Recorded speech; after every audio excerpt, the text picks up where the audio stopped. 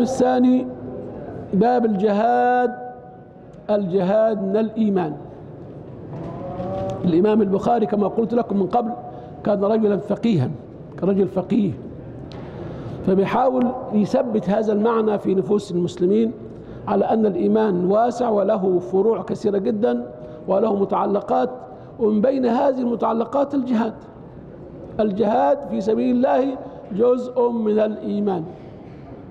حدثنا حرمي بن حفص قال حدثنا عبد الواحد قال حدثنا عمارة قال حدثنا أبو زرعة ابن عمرو بن جرير قال سمعت أبا هريرة رضي الله عنه عن النبي صلى الله عليه وسلم قال انتدب الله لمن خرج في سبيله لا يخرج إلا إيمان بي وتصديق برسلي أن أرجعه بما نال من أجر أو غنيمة أو أدخله الجنة ولولا أن على أمتي ما قعدت خلف سرية ولوددت أني أقتل في سبيل الله ثم أحيا ثم أقتل ثم أحيا ثم أقتل. آه. حديث عظيم يبين درجة الإيه؟ الجهاد. بس بشرط إيه أن يكون أن أن يخرج الجهاد وهو إيه إيمان آه إيمان بي وتصديق برسلي لازم يكون الحتتين دول مؤمن ومحتسب أجره عند الله تبارك وتعالى. إذا خرج مؤمنا مصدقا بما ورد في هذا الموضوع ومصدقا بما جاء به الرسل من الإخبار بهذا تعهد المولى تبارك وتعالى. بواحد من ثلاث أمور. إما أن يرجع بغنيمة أو يرجع بأجر عظيم أو يدخله الإيه؟ إذا قتل يدخله الإيه؟ الجنة. وممكن يجمع له بين الأجر والغنيمة مع بعض. يعني يأتي يدخل الجنة إذا قتل أو يرجع بالنصر ينتصر فيحصل على الغنيمة ويحصل على الإيه؟ على الأجر. لكن الأشد من هذا كون النبي عليه الصلاة والسلام لولا أن أشق على أمتي. ما تخلفت عن سرية. معناه تعرف السرايا في عهد عشر سنين بتاع المصطفى عليه الصلاة والسلام في في المدينة. كل كم شهر سرية. معناه أن النبي كان طول الوقت في إيه؟ في الجهاد في السرايا. لأن السرية عبارة عن قطعة من الجيش. فإذا معناها أنه هو لولا أن أشق على أمتي لخرجت في كل إيه؟ ما تخلفت عن سرية أبدا. ودي كانت دأب النبي عليه الصلاة والسلام. عمل خير كثير ويريد أن يعمل ولكن يخاف أن يتقلده الناس وأن يشق عليهم في هذا العمل. أه؟ تعرف يعني مثلا لما كان خرج في أيام رمضان العشر الآخر من رمضان كان يصلي في, في يعني يقوم الليل.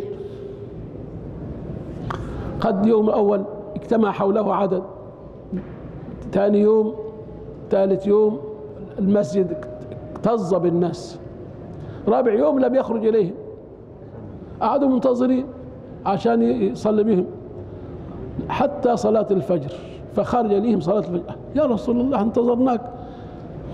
قال خشيت أن تكتب عليكم. خشيت إيه؟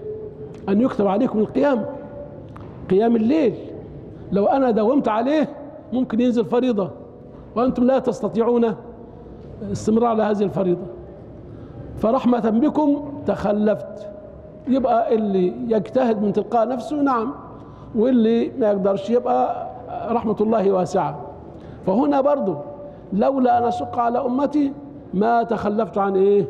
عن سرية. ثم شوف فضل الجهاد. وددت وددت أني أجاهد فأقتل. ثم أحيا ثم أقتل ثم أحيا ثم, ثم يا ثلاثة مرات يتمنى أن يقتل ويحيا عشان إيه؟ يحوز فضل إيه؟ فضل الجهاد. فضل الجهاد. شوف فضل الجهاد قد إيه؟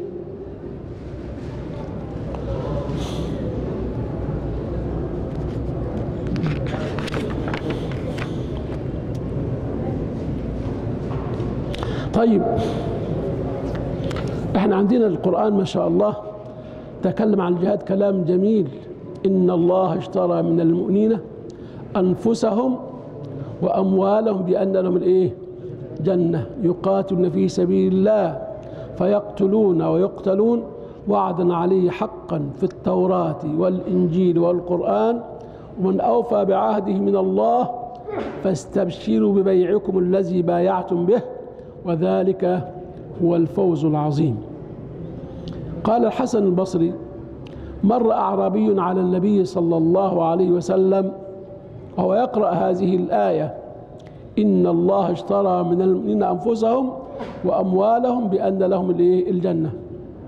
فقال كلام من هذا؟ قال كلام الله. قال بيع والله مربح. بيع والله مربح لا نقيله ولا نستقيله. ما دام ربنا عايز يتعاقد معانا ياخذ أرواحنا ويودينا الجنة ده إحنا إحنا اللي كسبانين إحنا اللي كسبانين. آه. لا نقيله ولا نستقيله. تعرف الإقالة؟ لسان بعد ما يعقد العقد والبيعة يقول أقلني أنا مش عاوز البيعة دي. يقول لا ما دام تعاقد معنا كده أهو إحنا لا نقبل إقالة ولا نستقيل. خلاص إحنا استمسكنا بإيه؟ بهذا العقد الذي عقده معنا ربنا. آه. قال ال- ال- الأصمعي فخرج الرجل إلى الغزو واستشهد? خرج الغزو إيه؟ يعني أدرك ما تم التعاقد عليه بينه وبين إيه؟ بينه وبين ربنا. فقال الأصمعي في في قصيدة للإمام جعفر الصادق بيقول فيها إيه؟ أثامن بالنفس النفيسة ربها أنا ببيع واشتري مع مين؟ مع ربنا. وليس لها في الخلق كلهم ثمن. النفس ليس لها ثمن نفس غالية. لكن أنا بتعاقد مع مين؟ آه. بها تشترى الجنات. إن أنا بعتها بشيء سواها إن ذلكم غبن. ال- الروح ثمنها الجنة لكن أي ثمن لها في الدنيا يساوي ثمن بخس ثمن غبن. لئن ذهبت نفسي بدنيا أصبتها لقد ذهبت نفسي وقد ذهب الثمن أي حاجة بعتها في الدنيا حتى لو ادوني الدنيا كلها في نفسي خسرت أنا خسرت نفسي لأن الدنيا هتروح مني. ده كلام مين؟ كلام الإمام جعفر الصادق وكان أحد شيوخ مالك المرموقين كان الإمام مالك حين يذهب إليه يحس ب ب ب يعني بنشوة ليه؟ يقول لك أنا ما دخلت على جعفر الصادق إلا وجدته إما قارئا للقرآن أو مصليا أو صائما واحدة من الثلاثة يا إما صايم يا إما قارئ للقرآن يا إما إيه؟ مصلي آه. عرض عليه الخلافة أبو مسلم الخراساني اللي أقام دولة بني العباس فيما بعد. بعت له رسالة قال له أنا بدل ما أدعو لخلافة بني العباس أنتم أولاد فاطمة الزهراء أولى بالخلافة. من نسل الرسول عليه الصلاة والسلام. فأنا أغير بدل ما أدعو العباسيين أدعو لكم. هتكون أنت الخليفة المسلمين. ها؟ قال هاتوا لي ولعة. هاتوا لي ولعة. جابوا له ولعة. مسك الرسالة كده أهو ولع فيها من إيه؟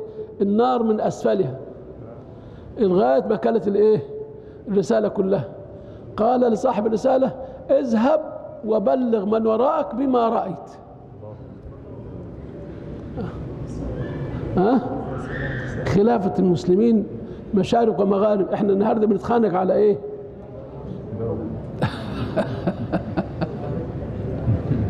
مصيبة والله إحنا مصيبة خالص. يعني حضرتك يعني إحنا خلينا في حتة مصر البلد دي. كان ملك فاروق سنة 52 خرج مطرودا ومات في إيطاليا مسموم.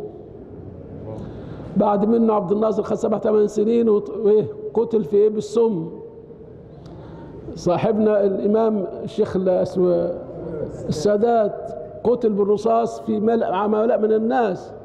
وحسن مبارك أهو مرمي في في- سجن ترى. إيه المزية في الرئاسة عشان تطلب؟ يعني يعني إيه الفوائد الكبيرة اللي الناس طب شوف مصير الناس دي. شوف مصيرهم هؤلاء. هذه مصير رؤسائهم. إحنا في الان أنا فوق الملوك كمان. عايش براحتي. أدخل براحتي. أطلع براحتي. مش خايف من حد. لكن الرئيس وراه 20 جندي وراه 20 سلاح ويمين وشمال لا عارف ينام في البيت براحته ولا عارف يجلس براحته ولا عارف يصلي براحته. سبحان الله العظيم.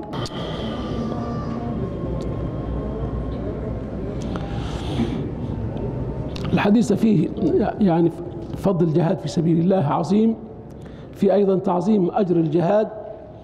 في جواز تمني الخير حتى ولو لم يكن هناك أمل في الوصول إليه. أيضا فيها شفقة النبي عليه الصلاة والسلام على أمته لولا أن أشق على أمتي.